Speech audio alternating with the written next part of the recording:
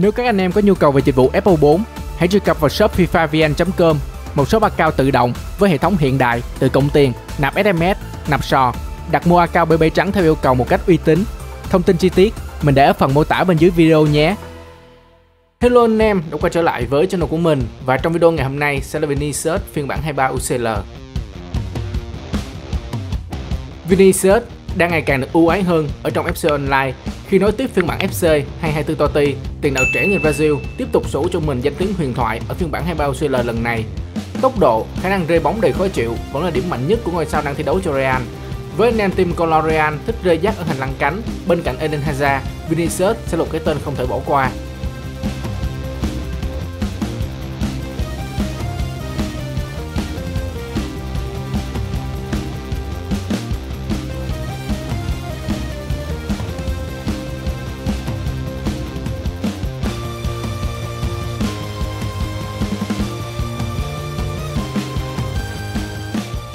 Thua thiệt lớn về khoảng thể hình thể chất, đã vậy chỉ số thăng bằng và sức mạnh cũng không cao nên khả năng chịu va đập của Vinicius không được tốt.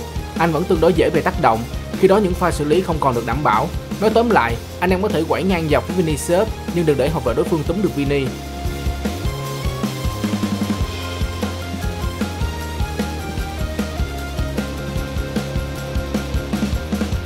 Về khâu dứt điểm, có nhiều nét tương đồng với những mùa giải gần đây của chính anh. Vini sút khá tốt, đôi lúc cũng rất bén, thậm chí nhiều pha dứt điểm bằng chân không thuận nhưng tính sát thương vẫn cao. Có điều một vài trường hợp dứt điểm nhanh lại đưa bóng đi chưa được hiểm hoặc lên khán đài. Nhìn chung, tính ổn định trong những pha dứt điểm của Vinicius dạo gần đây có sự cải thiện nhưng vẫn chưa được cao. Đòi hỏi anh em cần phải dứt điểm một cách chuẩn chỉ, không vội vàng để đạt hiệu quả cao nhất. Công bằng mà nói, Vinicius vẫn sẽ đóng góp nhiều bàn thắng cho đội nhà bởi nhờ tốc độ cao, khả năng xoay sở tốt, cộng thêm việc di chuyển nhiều pha rất sáng nước nên anh có rất nhiều cơ hội để dứt điểm ở những vị trí thuận lợi.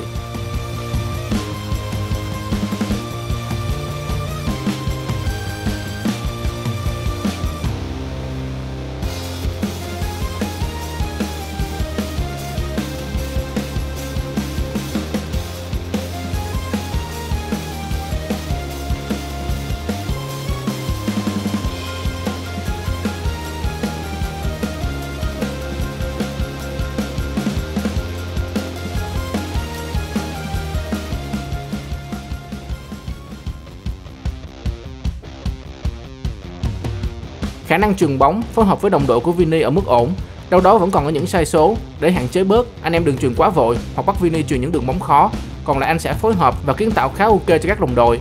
Còn về khả năng tạt bóng của Vini mùa này, nhìn chung mới chỉ dừng lại ở mức ổn. Khi xếp chơi cánh trái, anh em anh cố gắng xoay người để tạt bóng ngược bằng chân thuận để có tính sát thương lớn hơn.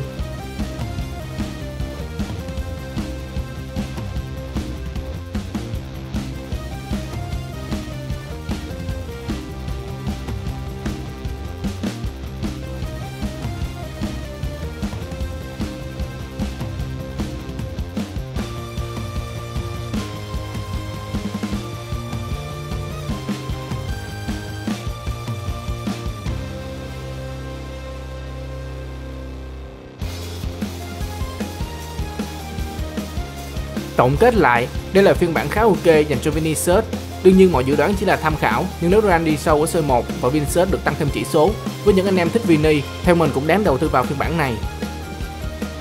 Và đó là bài review của mình về Vinicius phiên bản 23 UCL. Cảm ơn các anh em đã theo dõi hết video này và nếu thấy hay hãy cho mình một like và nhấn subscribe đăng ký kênh ủng hộ mình. Cũng như đừng quên để lại bình luận ở phía bên dưới video nhé. Còn bây giờ, xin chào và gặp lại các anh em trong những video tiếp theo.